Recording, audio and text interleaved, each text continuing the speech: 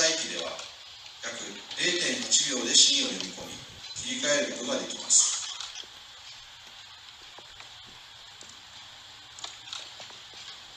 次にキャラクターの動きをスパイダーマンが速度を上げながら移動するシーンを例に比較します。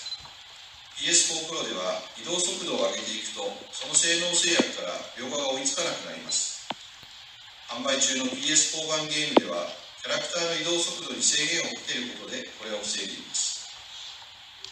一方現在開発中の次世代機では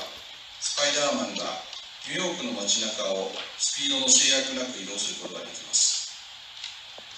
この2つの比較デモは PS4 ゲームスパイダーマンの素材を用いて2週間程度で作成しました。これに比較